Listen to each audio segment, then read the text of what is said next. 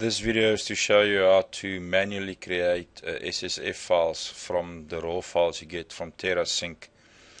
Now the easiest way that I know of to copy the raw files off the device is to connect the device to your computer and either go through the connection program, browse contents of your device, or to open your Windows Explorer and just to click on the device and it will open the drive of the device and you open that and uh, go to my documents and there's a folder called TerraSync and this is where it stores all the files all the data files that you capture in the field. But this is all in raw raw format still. So you'll see there's eight files here with the same name. So this is the raw files. So if there's more than one file it can be a little bit confusing to select only one of the files because there's so many files with the same name.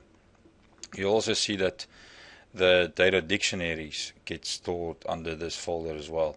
So you can delete the data dictionaries off the device if you want to do it this way browse to on the device and delete the data dictionaries and copy new dictionaries onto this device you can copy it into this folder and it will also be uh, on the device and you can select them in TerraSync so what I'll do now is I just want to select the raw files that I want and uh, I'm just going to copy this off the device.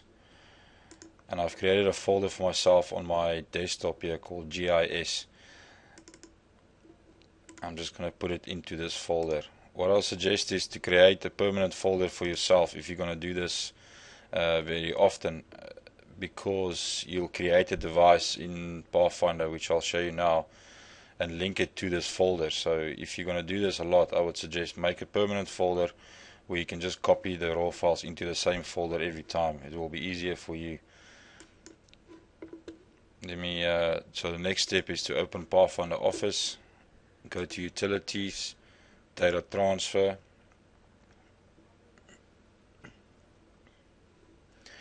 and to create a new device for that folder or so data transfer links to that folder. So you'll click on devices to do this and click on new to add a new device. And the th device you should be looking for is GIS folder. You click OK and now it will ask you to browse to that folder. So I'll browse to the folder uh, it was on my desktop. Let me just close all this. There it is GIS click OK and you go next and type is TerraSync and the versions you leave it on this 3, 4 or 5 you click on next. Now it will ask you for a name so uh, I'm not going to leave this long name. I'm just going to call mine uh, GIS folder. And you click finish. And you'll see there's your new new device in in data transfer. Close this. And this is the device you'll use to connect to that folder. If you're downloading straight from your um, unit uh, your handheld GPS you'll still use this device. But if you want to connect to the folder then you use this device and then you click the connect button. It connects and then make sure that you on the receive tab you click add data files and there it is. So it will show all those files as one file. So you select the file from that folder.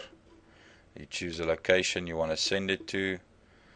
I'm just gonna maybe put it into the same folder just for this exercise but you can choose any folder on your on your computer where you want to send the file to you click on open and you say transfer all. Once file successfully transferred you can close this close data transfer and now you can open that file in Pathfinder Office.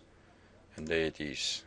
SSF file can open that and then you can start your differential correction and export the file